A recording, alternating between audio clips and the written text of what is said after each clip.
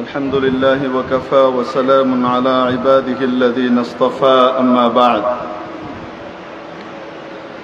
فقد قال الله تبارك وتعالى وكان حقا علينا نصر المؤمنين صدق الله مولانا العظيم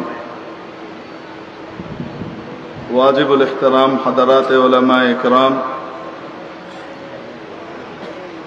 সংগ্রামী ত্যাগী নেতৃবৃন্দ আজিজ তলাবা। আসলে মজলিস আলোচনার না। দু তিনটে কথা বলব। নাম্বার এক, কিছু মানুষ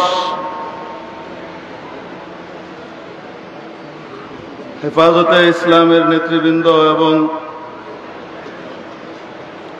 তৌহেদি জনতার প্রাণ পুরুষদের জন্য জেলখানার ব্যবস্থা করেছিল। মামলা, হামলা, হলিয়া বহুত কিছু দিয়েছিল। বাহ্যিকভাবে মনে হয় যে এটা অনেক বড় ক্ষতি করে দিয়েছে আমাদের। আমি আপনাদেরকে বলব, ক্ষতি চার আনারও করে নাই, ষোলো আনা আগিয়ে দিয়েছে। নিজেদের জন্য গর্ত খুঁড়ে তার উপর দিয়ে আমাদের পার হবার ব্রিজ করে দিয়েছে। এই জেল জুলুমের মাধ্যমে আলেম ওলামার সাথে তৌহিদি জনতার গোটা দেশের মানুষের আস্থার যে অটুট সম্পর্ক তৈরি হয়েছে, এটা বিচ্ছিন্ন করা কেমন পর্যন্ত সম্ভব নয়, ঠিক ঠিক না? এই সেতুবন্ধন এবং এই ব্রিজটা তৈরি করে দিয়েছেন ওনারা।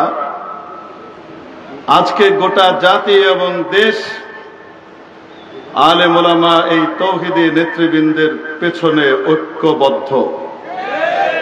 যারা গর্ত খুঁড়েছেন নিজেদের জন্য, আমরা তাদের উদ্দেশ্যে বলতে চাই, পালাতে চাইলেও গর্ত খোঁড়ার কারণে পালাতে পারবেন না। যেই ব্রিজ নির্মাণ করেছেন আলেম ওলামাদের জন্য, সেই ব্রিজ ধরেই আগাতে হবে, আলেম ওলামার পিছন ধরেই যেতে হবে, এছাড়া মুক্তির কোনো উপায় নাই। নাম্বার দুই আল কুফরু মিল্লাতুন ওয়াহিদা। সমস্ত কুফরি তাকাত আল্লাহ নবীর ভাষ্য অনুযায়ী মুসলমানদের বিরুদ্ধে একজোট, এক প্ল্যাটফর্মে থাকবে।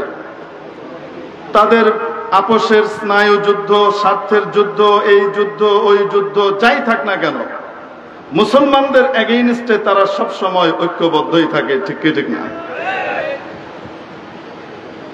আজকে প্রিয় উপস্থিতি, আমাদের মুসলমানদের ছোট্ট একটা ভূমি বাংলাদেশ। মুসলমানদের এই অর্থে বলছি, বিরানব্বই ভাগ, বিরানব্বই শতাংশ জনতা হলো অধিবাসী দেশের মুসলমান। বাকি আট পার্সেন্ট যারা আছেন, তারা সুখে, শান্তিতে, নিশ্চিত নিশ্চিত নিশ্চিন্তে, নিরাপত্তার সাথে নিজের জীবন এখানে নির্বাহ করছেন, ঠিক কি, ঠিক না? ধর্মীয় সংখ্যালঘু হওয়ার কারণে আজ পর্যন্ত সংখ্যাগুরুরা কারও উপরে আক্রমণ করে ধর্মীয় দাঙ্গা তৈরি করেছে, বাংলাদেশে এর নজির নাই। ঠিক কি, ঠিক না? মেরে মোহতারাম দোস্ত এই অল্প ঐক্যটাও অনেকে বরদাস্ত করতে পারছে না। এজন্য আমাদের দেশের একটা অংশ পার্বত্য চট্টগ্রামকে নিয়ে ষড়যন্ত্রে মেতে উঠেছে, যে কোনো মূল্যে এটিকে খ্রিস্ট রাজ্য বানিয়ে আমার দেশ থেকে পৃথক করতে হবে।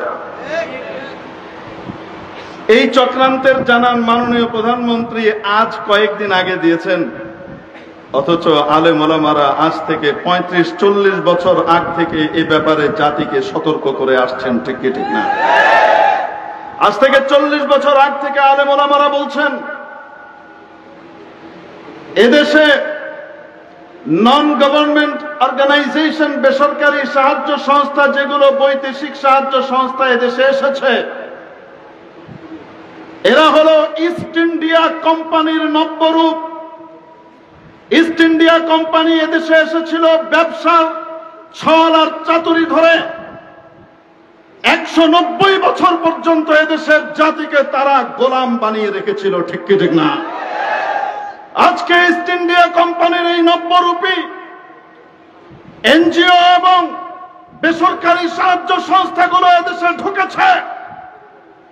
গভীরভাবে ষড়যন্ত্রের জাল বিস্তার করে এদেশ থেকে ঢালাও ভাবে ইসলামী কৃষ্টি কালচার এবং ইসলামী সংস্কৃতিকে ঝেঁটিয়ে বিদায় করবার অপচেষ্টা করে যাচ্ছে। ঠিক তেমনি ভাবে আমাদের পাহাড়ের ভেতরে ষড়যন্ত্রের জাল বুনছে এদেশ থেকে বিচ্ছিন্ন করে পূর্ব ত্রিপুরার মতো একটি খ্রিস্ট রাজ্য প্রতিষ্ঠা করবার জন্য ঠিক ঠিক না? মাননীয় প্রধানমন্ত্রী, আমরা আপনাকে সাধুবাদ জানাই। শেষে হলেও আপনি স্বীকার করেছেন, এদেশে খ্রিস্ট রাজ্য প্রতিষ্ঠার একটি ষড়যন্ত্র চলছে। কিন্তু আমরা বলতে চাই, একদিকে আপনি বেসরকারি সমস্ত বিদেশি চিহ্নিত এনজিওদেরকে ব্ল্যাঙ্ক চেক দিয়ে রাখবেন, নির্বিরোধীভাবে তাদেরকে কাজ করবার সুযোগ দেবেন, আর অপরদিকে দেশপ্রেমের ঘোষণা দেবেন।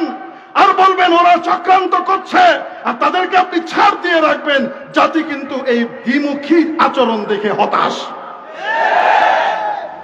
আজকে এদেশে ব্র্যাক একটা এনজিও হিসেবে এসেছিল। আপনাদের মনে আছে কিনা? ব্র্যাক এসেছিল একটি এনজিও হিসেবে। তারপরে তারা ব্যবসা প্রতিষ্ঠান খুলেছে। তাদের আড়ং আছে। ব্র্যাকের ব্যবসা প্রতিষ্ঠান আড়ং। ব্র্যাক এদেশে ব্যাংকও করেছে। এদেশে আবার শিক্ষা প্রতিষ্ঠানও করেছে। চাই সেই শিক্ষা প্রতিষ্ঠানে শিক্ষা হোক, চাই কুশিক্ষা হোক, তা নিয়ে আমার বলার দরকার নেই। যে সমস্ত মানুষ টাকা রাখতে চায় না, তাদের ব্যাংকে দিবে না। তাদের পকেট থেকেও টাকাটা টেনে বের করে আনবার জন্য বিকাশের ব্যবস্থা করেছে। ঠিক কি, ঠিক না?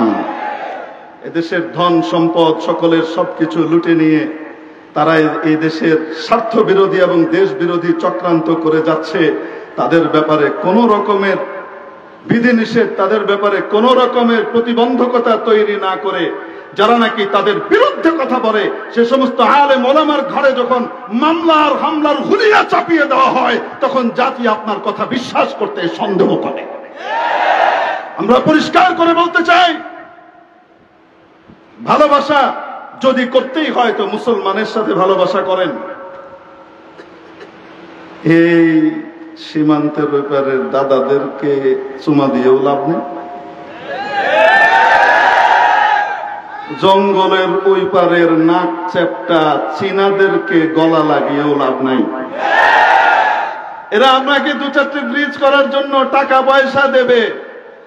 কিন্তু চীনের মদদে আমেরিকা এবং ইউরোপিয়ান কান্ট্রিগুলোর মদদে সম্মিলিত মদদে আমাদের পাহাড়ে কুকি চীন তৈরি করা হয়েছে, ঠিক কি, ঠিক না?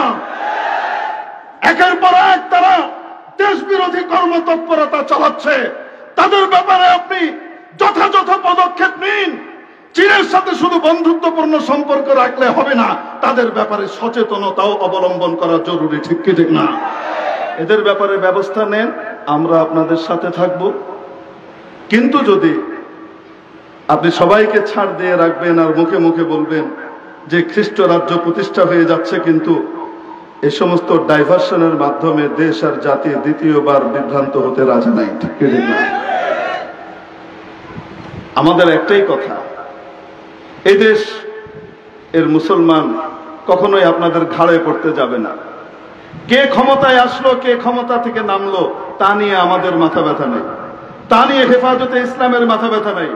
কিন্তু যদি ইসলামের গায়ে সামান্য আচর দেওয়া হয়, ইসলামের দিকে যদি সামান্য বাঁকা চোখে তাকানো হয়, তাহলে সেই চোখ জারি হোক না কেন, চোখ উপড়ে ফেলা হবে, ছেড়ে দেওয়া হবে না। নসরুম মিন আল্লাহি ওয়া ফাতহুন করিব। আসসালামু আলাইকুম ওয়া রাহমাতুল্লাহি ওয়া বারাকাতুহু।